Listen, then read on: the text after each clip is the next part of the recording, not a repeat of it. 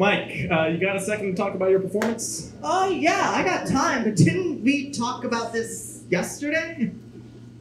No, I, I don't think we talked about yesterday. But uh, listen, Mike, we here at the train yard, you know, we uh, we really appreciate all that you've been doing for us. You're, you're a great asset.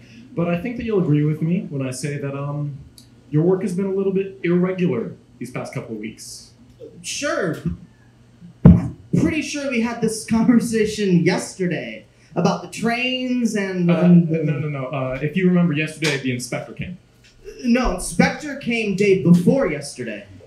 No, no. The um, I'm pretty sure the inspector was yesterday. But uh, listen, Mike, I crux of could the have sworn it was Uh, day before. you keep derailing trains. You keep derailing trains.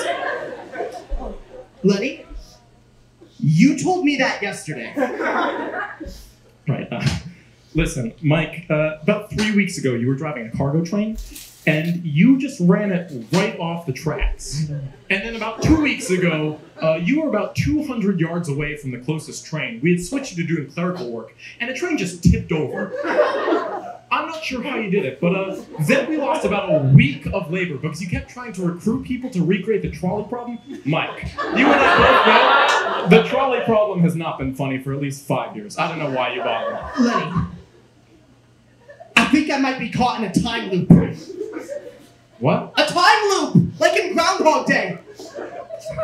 Okay, so. So I mean, I've lived this day before. I've lived this conversation before.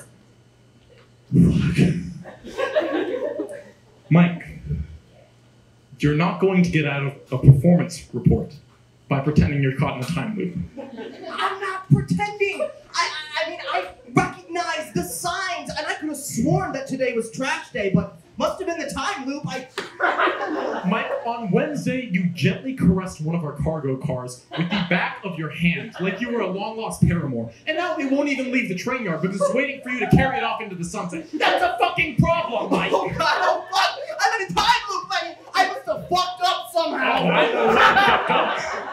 Oh, see, I gotta live this day right. You know, that's how you get out of a time loop. I'm not 12. Why do you think this would work oh, on? Oh God! Fuck! I don't know. I, I, I woke up today and I and I and it was I'm in a time loop and it said it was Wednesday. Mike, you know what? I'm gonna come back in a few hours when you're ready to behave like an adult. Okay? Don't derail any trains in the meantime. Phew. he bought it. Now I can get back to my true passion, derailing trains on this beautiful Friday morning. Thursday?